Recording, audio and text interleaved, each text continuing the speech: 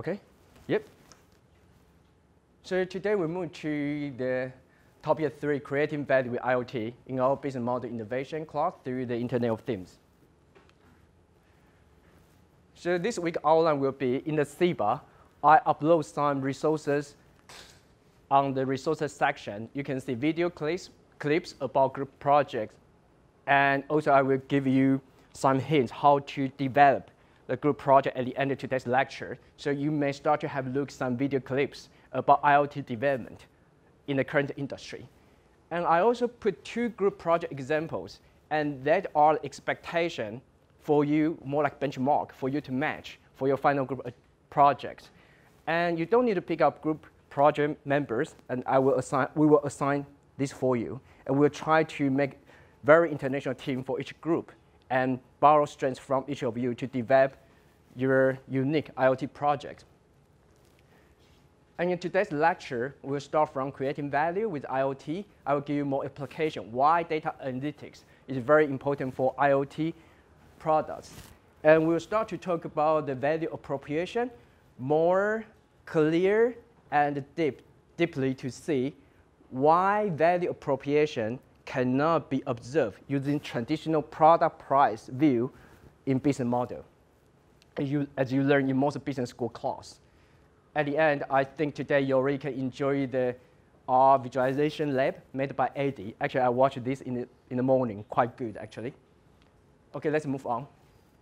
So we move to how do we use data analytics to create value for IoT products. So now, usually most people think about Internet of Things. They will start to think about hardware, hardware-defined product. What a hardware-defined product is now you put a sensor and actuate, actuators on the things or item, such as washing machine here. And hardware-defined products have three elements, sensors, connected sensors, and connected actuators, and embedded system. So and not only from hardware view, if we start from engineer's view, we can see there are a lot of terminologies in IoT product, such as you can see your TCP IP models that about IoT application using IP address on the internet. And we have different data format used in the local firm's database system. We also have application layers, depends on who you link to. And we also have transport layers and internet layers, different routing, at the end, we have different protocol about how machine talking to the machine. And don't worry this very much because we will have six talks from industry. They will explain this in a very detail because some of them, they are engineers really working in this area. They also graduate from our university, the double E department. Now, one thing you need to care about when we say machine talk to machine, and we need to work on protocol. Protocol is language used in the machine communication. And our, the, our invite speaker will explain this later in very detail, so this will, should not be the barrier in our class. Okay? So now we move to the software-defined product. IoT potential actually is not from hardware, it's from software. So if we start to put a cloud on it, that means software and we want to work beyond sensors and actuators in the double engineer's view. So there are two parts in the software-defined product, is cyber models and applications. Let's further explain it. Cyber models are software algorithms that present IoT value and are shared by application and analytics. So I think you know what application. Application are software code as a you as an apps on your mobile phone. They provide product logic and put data together and start to have interface with the other apps. So make apps communicating with apps and service and people. So when you start the applications and you start to execute the model, model is more like, I want this app or this machine do something in my defined algorithm. And we will see example very quick. So in order to drive the model work for me more like machine, make a judgment, or machine start to repair on its own or send signal about the request of repairing on its own, you need to have data ana analysis to say now is the time for machine to do some action on machine its own. so we need to use data to build comparisons of the models as what you already see in the past three weeks or tutorials. So software-defined product and analytics generate all the value in an IoT product. So now we start to move to the external systems. So analytics is all about answering questions. We already say we want to build application on, on software-defined product. Sensors and actuators are just here, but they are pretty limited in the business value from ecosystem view. If IoT only have sensors and actuators, IoT has no potential. The issue is about apps. So in order to, make apps work, we use cloud and to collect data from sensors and actuators on the machine, and we start to link data to, do you remember we have the cloud? We start to put the data into analytics, more like machine learning or regression or the classification algorithm to say now whether it's a, it's a good timing to do some action. And we'll see more example later. And mainly there are three applications using analytics to do. First is if we collect the data in the history and what happened in the cause and effect sense. What is the major factors driving particular result? And we see using historical data. And the second issue using data is what is happening.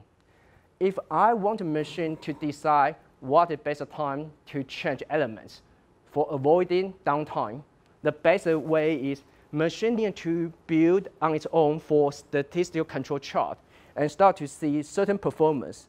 If the performance chart, such as temperature or the rotation speed, is above or below certain limit, a machine should, should start to alarm, make alarm to say, now we should do something. So it's what is happening. And now we start to say, the next thing is the most important thing for IoT value. What's going to happen? If we can predict at least 80% accuracy for this wheel or this element to be down, and we can replace it before it happens, and you save a lot of money, even for financial purpose. Last week, we already showed if we can avoid downtime we're using very simple capital, the asset pricing model. We see this can huge million dollars for a company just to save one element. So it has a huge potential. So analytics link everything here together. So I think now we can start to imagine machine data linked to analytics and also data service such as weather and other information collected by the cloud or business system and also legacy business system using very old database, and the other IoT products.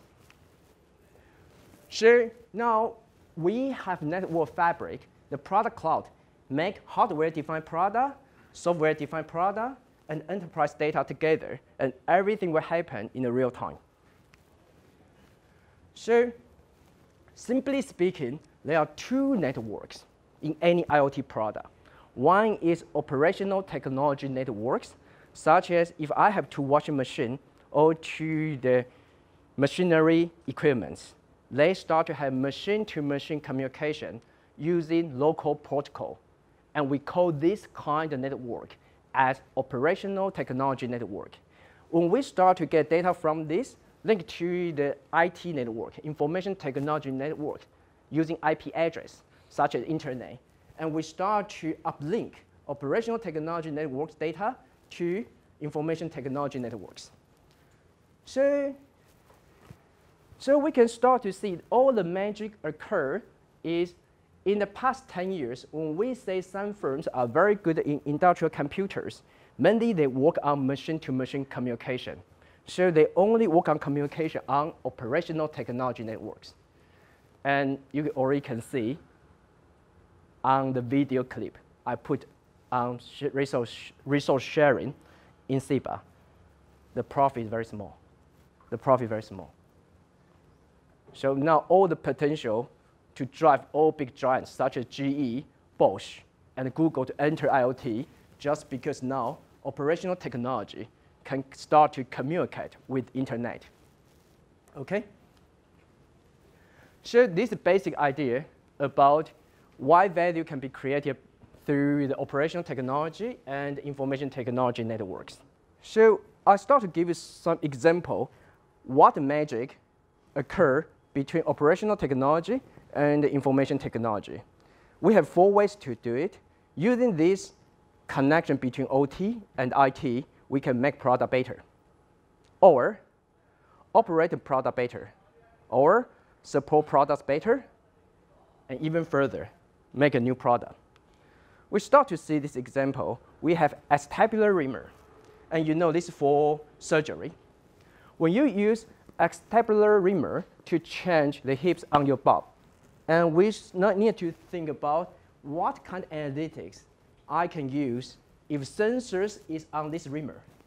And reamer sensors can start to see many, many important data, such as ro rotation speed, temperature. Can this information help this surgery become more smooth and doing it in a better way? So if we have some domain knowledge from healthcare, we start to see actually temperature during surgery is a function of rotation speed, pressure, and time. If we can use some regression or machine learning to find that function or non-parametric regression, we start to do prediction. And that's, that's very important because if we can predict temperature occur in the surgery, and we can make our patient less suffering. Does this make sense? So without sensors on reamer, this is almost impossible to do. So application will be, if we find out that magic function, we can control rotation speed to limit temperature. Okay? So now, our analytics. We need to use statistics to find out what is that function using regressions you learn in the other class, and also from our R tutorials. Our R tutorials cover most important regression uh, techniques we need to do these kind of things. Okay? So I already say it can make your hip replacement in the shortest time when making the patient say healthier and less suffering. So I think that's straightforward. So now we move to second example operate products better. I think you all heard about smart grid. If now I want to use IoT, put the sensors on electricity supply and water supply, and how this help us to do better job.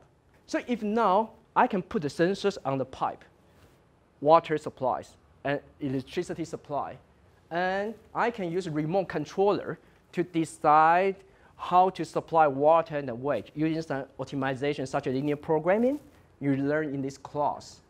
And also use regression to build the function to predict electricity amount on each household or other supply node. And at the end, you already know, I don't need to dispatch operators to check certain spots or sites in a regular time.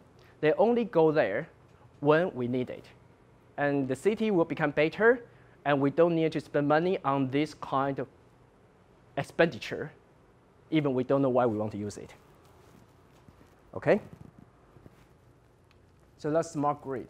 So smart, if we start to have this idea, putting sensors on water and electricity supply, and we reduce human cost, increase efficiency, and reduce downtime, as shown in the last week example. So this generates value through using machine to make judgment when we should do repairing. Now we can also make products better.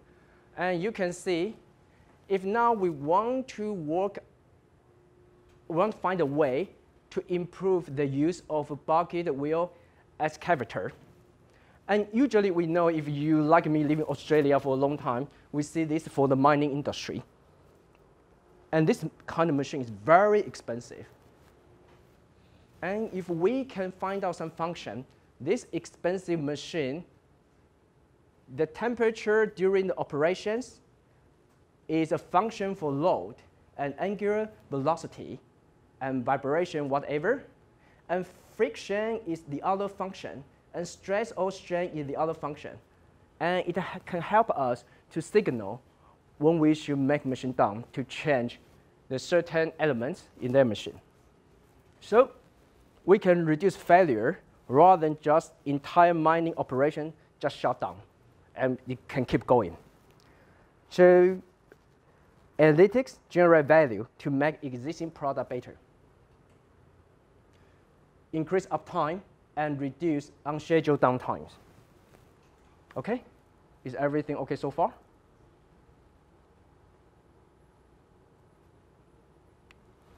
Now, the last one is make new products. So, so I think now this is a smart watch. You already know this is, is the only example I do not put too much information. If IoT with sensor to make your watch is not watch only, such as become your sport coach, I think you already know, and also become your personal doctor and its user interface, so its uh, user interface can, if you change layout of user interface, and you can change usability on this watch. So watch have more possibility to be your personal doctor and personal coach if we use it in the right way. And IoT also make this happen because watch get your location data in, on every second and sending to the cloud. So people design this watch or the apps inside the watch, they start to collect your data on every second. And this will make many things will happen, and you may generate new product we still cannot imagine now. And this will rely on your imagination. So that's why Apple and Google, they want to all get into this market, and they still don't know why they want to do it. Okay? If we start to think these aspects, these four aspects of IoT product, um, what opportunity and threat generated by these four aspects? First, if we start to see we have IoT products on watch and on surgery, and how will IoT influence enterprise? we see negative impacts. Other firms outside your industry, they will start to enter your industry, and your product may be replaced by them, and we will see from today's example later. And for our company, the best opportunity is our product can go to the other industry, sell outside my original industry, show my value creation potential can be bigger in the original segment I have. Okay, so if we want to make this happen, we all need new business models.